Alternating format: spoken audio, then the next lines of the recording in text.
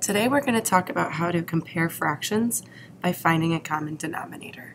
So for example, I have 2 sixths and 3 fourths, and I need to determine if 2 sixths is greater than 3 fourths or if 2 sixths is less than 3 fourths.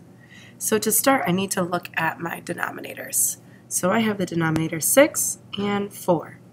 To find a common denominator, I need to think which multiple of 6 and 4 do they have in common? So I'm going to list the multiples of 6, 6, 12, 18, 24.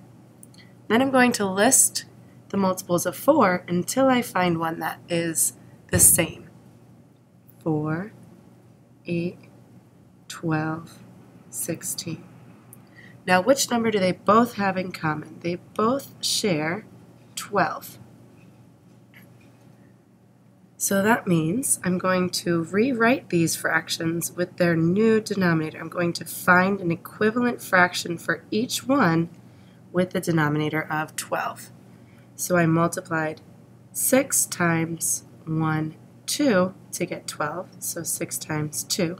So whatever I do to the bottom, I have to do to the top. So I also have to do 2 times 2, which is 4. Then I need to look at 3 fourths and find the equivalent fraction.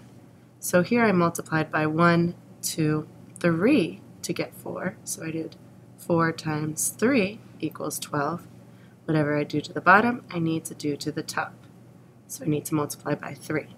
So 3 times 3 equals 9.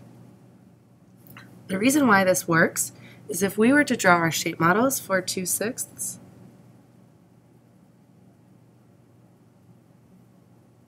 six, so I'm going to divide in half, divide that in half, one, two, one, two, three, four, five, six, and then same thing for 3 fourths,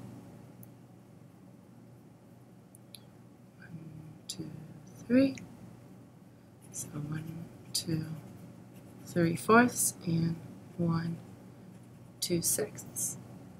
What I'm doing to these is to decide which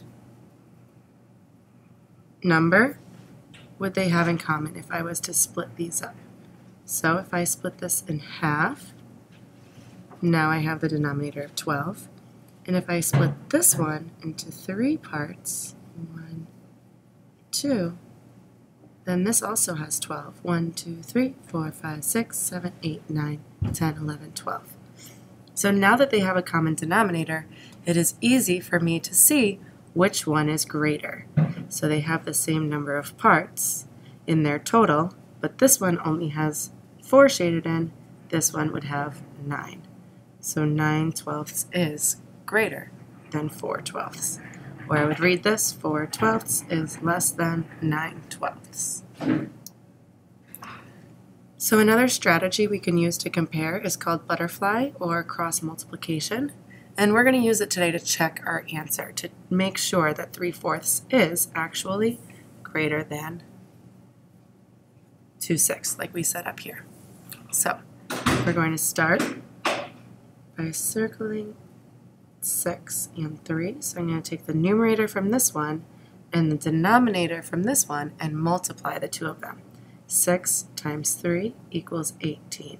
So I'm going to then put the product on top of the numerator. Then I'm going to do the same thing with 2 and 4. So I take the numerator from this one and multiply it with the denominator from this one. 4 times 2 equals 8. So then I can look at the numbers on top and see which one is the greater number. 18 is greater than 8, which means 2 sixths is less than 3 fourths.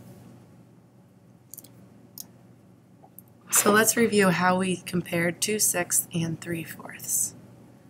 The first step was to find a common denominator. So I identified the denominators, 6 and 4, and then I made their list of multiples list of multiples to find a common denominator. And the number that was common was 12 and 12. Then I created equivalent fractions for each of my fractions using the denominator of 12. By multiplying by 2, I got 4 twelfths.